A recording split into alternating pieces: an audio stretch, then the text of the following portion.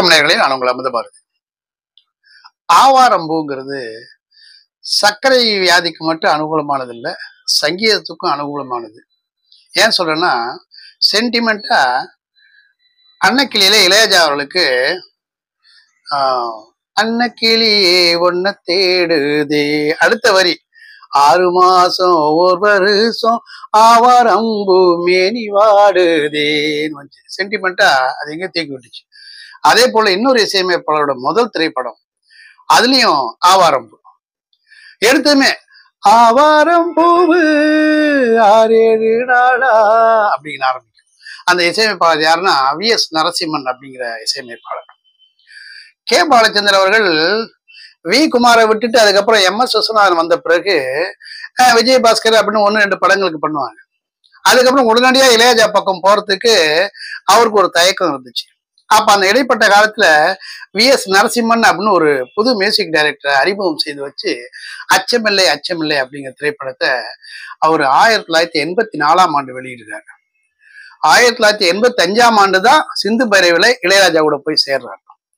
அதுக்கு முன்னாடி இந்த வி எஸ் நரசிம்மன் பத்தி கொஞ்சம் சொல்லி ஆகணும். ஏன்னா வயலின் வாசிக்கிறதுல அற்புதமான பிளேயரு இளையராஜா எம் எஸ் சுசுனா நிறைய பேருக்கு அவர் வாசிச்சிருக்காரு. வெஸ்டர்ன் கிரேடு ஒன் டூ த்ரீன்னு இருக்கும். அதுல செவன்த்து கிரேடு முடிச்சு எயித்து கிரேடு முடிச்ச பிறகு எல்டிசிஎல்னு ஒன்று இருக்கும். Licence of Trinity College London அதுக்கப்புறம் எஃப்டிசிஎல்னு ஒன்று இருக்கும். Fellowship of Trinity College London அது வரைக்கும் முடித்த ஒரு மிக அற்புதமான ஒரு பயிற்சி பெற்ற ஒரு இசை கலைஞர் அவர். சாப்பிட்றதுக்கு கையால் எடுத்து சாப்பிட்றதுக்கு டைம் ஆகும் சொல்லிட்டு ஸ்பூன் எடுத்து சாப்பிட்டு ப்ராக்டிஸ் பண்ணுவார். அந்த அளவுக்கு பிரமாதமான பிரில்லியண்டானவர் அவருக்கு வாய்ப்பு கொடுக்கணும் அப்படின்னு சொல்லிட்டு பண்ணும்போது நல்ல அற்புதமா பண்ணாரு. இந்த அச்சமில்லை அச்சமில்லை படத்தோட ஒழிஞ்சில் அவரு. யார் அப்படிங்கிற படத்துக்கும் பண்ணாரு. அப்புறம் கன்சிமெண்ட்டும் நேரம் அப்படிங்கிற படத்துக்கு நல்ல பாடலாம் பண்ணாரு. இந்த திரையுலகம் விழுந்தா ஒருத்தர் பக்கமே போய் விழும்போது தான் மற்ற இசைப்பாளர் அடிபட்டு போறாங்க. அவங்க எல்லாம் திறமை இல்லாம அடிபட்டு போகல. அந்த கமர்ஷியல் அப்படின்னு ஒரு விஷயத்த ஆர்டிபிஷியலா உருவாக்கி எல்லாரும் போய் கியூல போய் ஒருத்தர் பின்னால் ஒருத்தர் நிற்கும் போது இயல்பாவே அவங்களுக்கு கொஞ்சம் திமிர் வர்றது இயல்பு.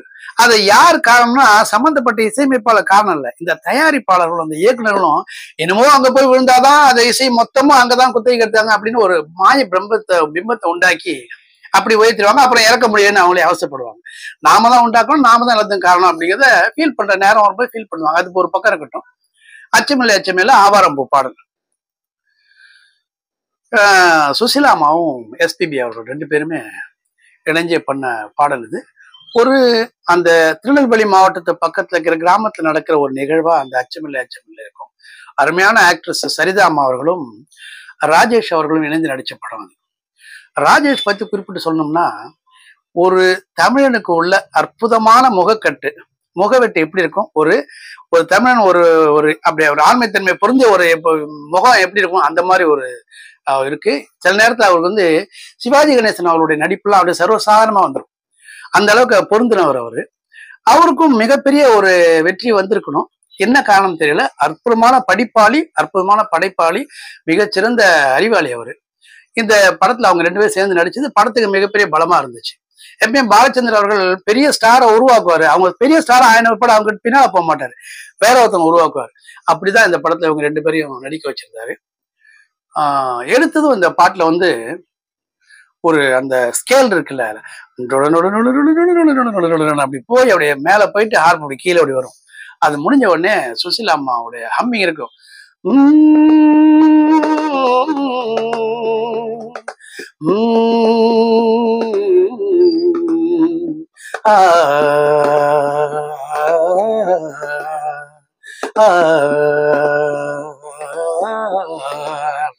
அந்த அம்மிங்கள ஒரு அழகு அந்த இடம் ரொம்ப அழகா இருக்கும் ரொம்ப நேச்சுரலா ஒரு பெண் வந்து கிராமத்துல பாடுறமா அந்த அம்மி அதை வி எஸ் நரசிம்மன் ரொம்ப அழகா பிடிச்சிருப்பாரு அதுக்கப்புறம் வயலில் மேல போகும் ஃப்ளூட்ல சின்ன சின்னதா வச்சு ஆவாரம் பூவு ஆறேழு நாளா? நீ போகும் பாதையில் காத்திருக்கு. என் நுனி மூக்கு ஏனையா வேத்திருக்கு. ஆவாரம் பூவு ஆறேழு நாளா? நீ போகும் பாதையில் காத்திருக்கு. என் நுனி மூக்கு ஏனையா வேத்திருக்கு. அப்படின்னு சின்னதான் பல்லவி. இதுல ஒரே ஒரு எழுத்து. அந்த எழுத்தை இயக்குனர் மாற்றினதுனால அந்த பாடலுடைய அர்த்தம் எந்த அளவுக்கு மாறுச்சு அப்படிங்கிறத வைரமுத்து சொல்லியிருப்பாரு. அதை நம்ம பின்னால பார்க்க போறோம். எடுத்து வயலின் அந்த ம, இடை இசையில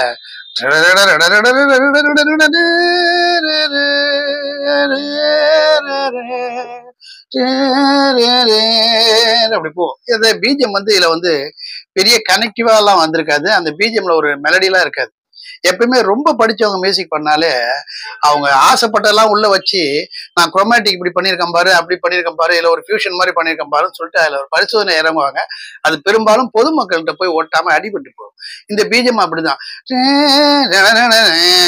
போட்டு அப்படி போட்டு இங்க கிட்டார்ல போட்டு ஃப்ளூட்டில் போட்டு அப்படி ஒரு வழியா முடிச்சிருப்பாரு என்னமோ ஃபில்லப் பண்ணி பண்ண மாதிரி தான் அந்த பீஜம் இந்த பாட்டுல வந்து டியூன் அற்புதமா இருக்கும் அது முடிஞ்ச அடுத்தது வந்து லிரிக்கும் ரொம்ப நல்லா இருக்கும் இடை இசை முடிஞ்சோன்னே சரளத்தை சுசீலாமா தான் எடுப்பாங்க. ஓம் பேர சொல்லும் கை பிள்ளையே நான் மட்டும் சொல்ல வாய் வல்லையே நீ பார்க்கும் போது தவிப்பாச்சு செவ்வந்தி பூ செவப்பாச்சு. பார்வையிலே கெளிச்சாலே புளியங்கும்பா புடிச்சாலே. வேரோடதான் மனச பறிச்சாலே. ஆவாரம் பூவு ஆறேழு நாளா நான் போகும் பாதையில் காத்திருக்கு. பொம்முனி மூக்கு ஏனம்மா திருக்கு. அப்படின்னு எஸ்பி முடிப்பாரு. மறுபடியும் எண்டுல ஆவாரம் போகு ஆறேழு நாளா நீ போகும் பாதையில் காத்திருக்கு. என் மூக்கு ஏனையா வேத்திருக்கு. அப்படி முடிப்பாங்க.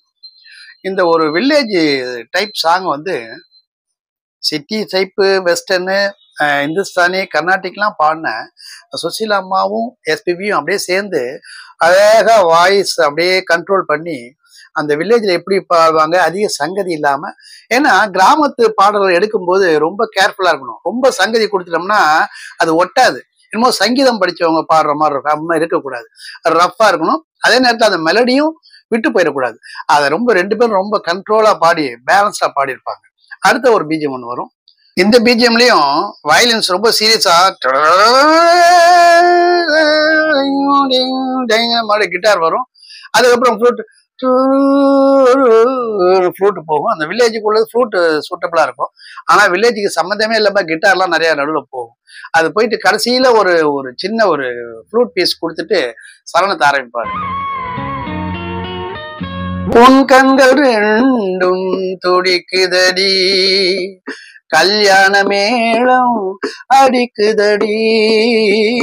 ஆசையை நெஞ்சில் சுமந்தபடி அண்ணாந்து பார்க்கும் இளைய கொடி. உறங்காமத்தான் உம்ம பார்த்தேன். உமக்காகத்தான் கண்ணி காத்தே ஓமடியா நினைச்சு தலை சாச்சேன் ஆவாரம் பூவு ஆறேழு நாளா நாம் போகும் பாதையில் காத்திருக்கு. பொன்னுடி மூக்கு ஏனம்மா திருக்கு ஆவாரம் பூவு ஆறேழு நாளா நீ போகும் பாதையில் காத்திருக்கு. என் மூக்கு மூக்கு வேணுங்க வேத்திருக்கு அது முடிஞ்சோன்னா மறுபடியும் அந்த பிகினில வந்த அந்த ஒரு ஹார்ப்பு அதுல ஒரு ஹம்மிங் அந்த ஹம்மிங் ரொம்ப அழகா இருக்கிறதுனால அதை பின்னாலே வச்சு இந்த பாட்டோடைய டேஸ்ட்டை குறைக்காம பண்ணிட்டாரு வி எஸ் நரசிம்மன்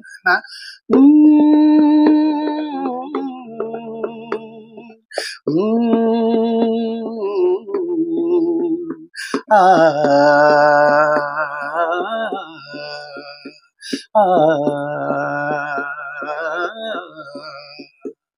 அப்படின்னு அழகா மெலடி பண்ணியிருப்பாரு அந்த சில விஷயங்கள்ல நான் புதுமையா பண்றேன் பாருன்னு பண்ணும்போது மக்கள்கிட்ட ஒட்டாது. ரொம்ப ஹைலி குவாலிட்டியான மியூசிக்கை மக்களுக்காக பண்ணும்போது இறங்கி வந்து தான் பண்ணணும்.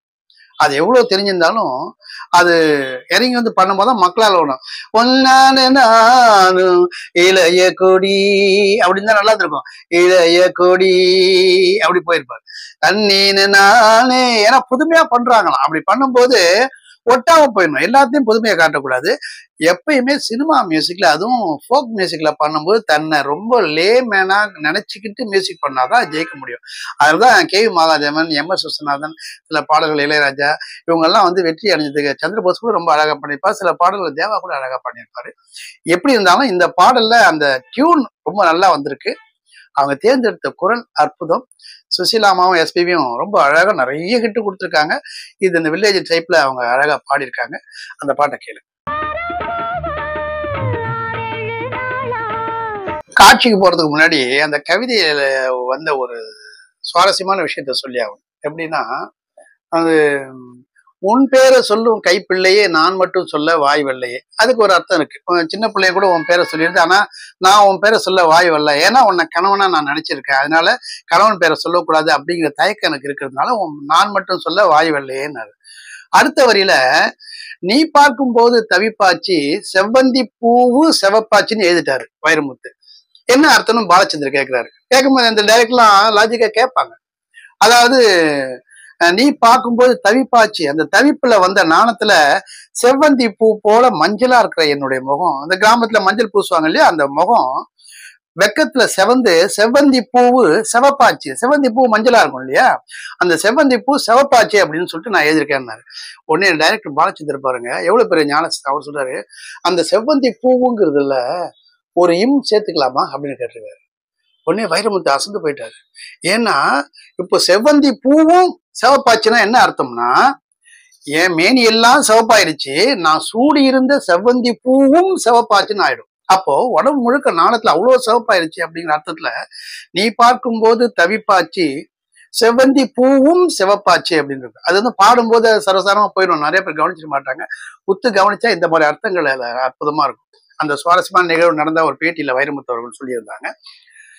எதுவோ இந்த ஆவாரம்பூ அப்படிங்கிற வார்த்தை வரும்போது அது கிராமத்துக்குரியது ஆவாரம்பூ அழகா மஞ்சள் நிறத்துல பொன்னிறத்துல இருக்கக்கூடியது. அந்த ஆவாரம்பூ டீ எல்லாம் சாப்பிடுவாங்க அந்த மாதிரி விஷயம்.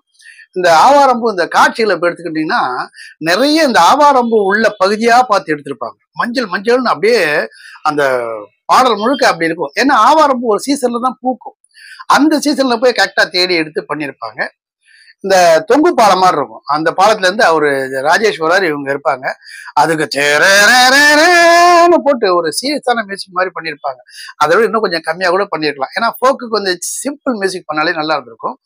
பரவாயில்ல. எப்படி இருந்தாலும் இந்த வெற்றி பாடலாக அமைஞ்சிருச்சு. வி எஸ் நரசிம்மன் இந்த இதுலேருந்து மிகப்பெரிய உச்சத்துக்கு போவார் அப்படின்னு எதிர்பார்த்தாங்க.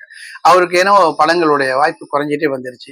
இருந்தாலும் இசை தமிழ் இசை வரலாற்றில் இந்த பாடல் இன்னொன்று ஓடுகிற தண்ணியில் அந்த பாடல் ரெண்டு பாடலுமே அச்சமில்லை அச்சமில்லை பேசப்பட்ட பாடல் என்பதில் ஐயமில்லை காட்சியில் அந்த சைக்கிளில் வந்துட்டு போகிற மாதிரி காட்சியில் இருக்கும். அந்த சைக்கிளை தள்ளிட்டு வருவாங்க. அவர் போயிட்டு வேலைக்கு போயிட்டு திருப்பி வரும்போது அழகாக ஒரு ரோடு இருக்கும். அந்த ரோட்டில் தென்னம் மரங்களாக இருக்கும். அதை தாண்டி வருவார்.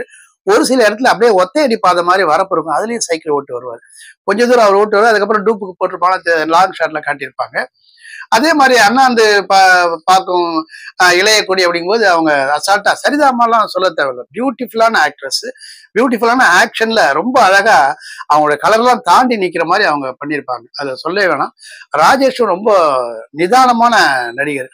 அவர் அந்த நாட்கள்லேயே பாக்கியரை தூக்கி சாப்பிட்டுருப்பாரு. டாக்டரா வரும்போது பாதி ஆஃப்ல வருவாரு தூக்கி சாப்பிட்டு வருவார் நிதானமான இதுல ரொம்ப அழுட்ட மாட்டார் ஸ்டைல் கிடையாது ஒண்ணும் கிடையாது.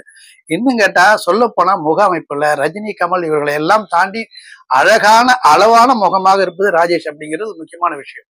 அதனால ரொம்ப பேசப்படல ரொம்ப வெற்றி படங்கள் கொடுக்காதனால ஒரு நடிகரை வந்து நம்ம குறைச்சு பேசிட முடியாது.